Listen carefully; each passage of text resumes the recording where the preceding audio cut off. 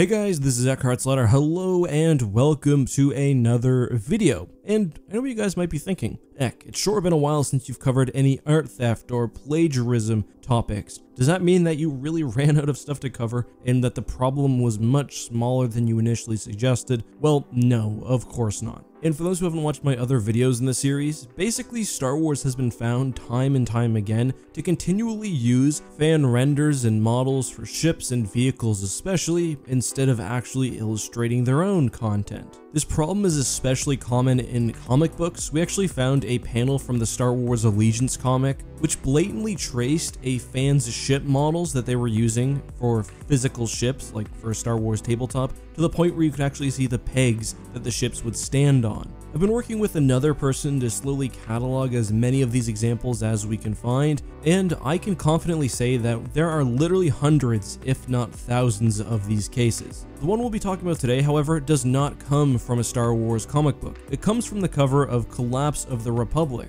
which is a source book for the Fantasy Flight Star Wars RPG. And before I continue, I have to give a massive, massive shout out to my good friend Corey for pointing this out. As a note, Corey has some of the best Star Wars channels on the internet. Right now, his lore channel is at about 20,000 subscribers. I would really like to get those numbers up. And if you subscribe to him today, you'll be able to catch his video on this topic, which will come out tomorrow or the next day. Even if you're not interested in that, Corey puts out probably the most in-depth pure legends videos, so if you enjoy that on my channel, you'll love it on his. Let's get that 20,000 number up. Anyway, Corey pointed me towards an ArtStation post by our good friend of the channel, Fractal Sponge. Now, I'm sure many of you know who Fractal Sponge is, but if you don't, he's probably the most well-known modeler and fan artist within the Star Wars community, at least when it comes to spaceships. And Fractal Sponge isn't just a fan artist actually, because several of his ships, including the Secutor, the Allegiance, the Assertor, the Bellator, and more, have actually made their way into Star Wars canon. And Fractal Sponge's models are so good that this is not the first time that his work has been stolen. Eventually I'll probably try to put together a compendium of all of his stolen work, although that would take a very long time. But in one video, we covered how his Assertor Star Destroyer was blatantly stolen for a book and actually labeled the wrong ship. Fractal Sponge, however, hasn't just modeled his own ships, he's also taken his shot at modeling official Star Wars vehicles, like for example the Imperial Star Destroyer, which too, because of its high quality, has been stolen and placed on various official and unofficial pieces of Star Wars merchandise or works. As Fractal Sponge's recent ArtStation post pointed out, and I'll link to that down in the description, the stolen culprit today is a beautiful model he made of the Juggernaut, the wheeled vehicle from Star Wars Episode 3. So when he posted the model, he actually included several different angles, a few of which I'm showing on the screen right now, and as you can see, this is an extraordinarily highly detailed render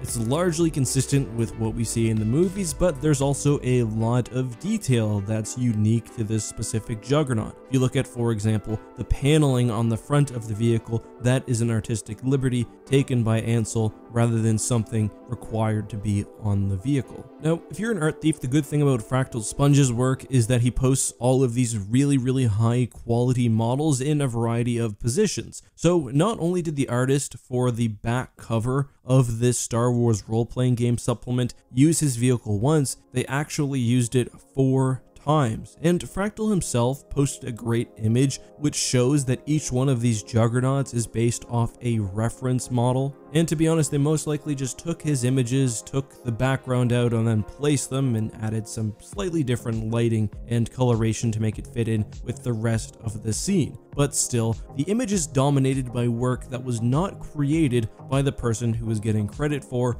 and who was getting paid to illustrate this cover. But you guys know me, when I see this happen once, I always suspect that it's probably happened more than once. So I took a look at each of these vehicles, and the first one that really jumped out at me, just because of how it was placed, was the Republic Y-Wing. And wouldn't you know, within maybe two minutes of searching, I found the actual source for this Y-Wing. You can tell it's the exact same, mostly because of the detailing in the canopy, which matches exactly, but really shouldn't, and because even some of the lower poly features, like this little thing here on the side of the fuselage, are brought over to the image. I quite like the Y-Wing model, by the way. It's by Admiral Tributon over on Sketchfab. I'll link that as well down in the description. Looking at the other ships, the Acclamator does seem to be an original creation. At least I couldn't find the model it's based off of. Of the LAT gunships, at least one is based off a still from Attack of the Clones, which personally I think is completely fine. But at this point, we just have to ask, what's the point of buying these books if the art is basically just somebody rearranging existing models? And Fractal himself even said this isn't just a theft, but this is a lazy theft with no attempt to repaint the asset, just essentially magic wanding the background and slapping a filter on.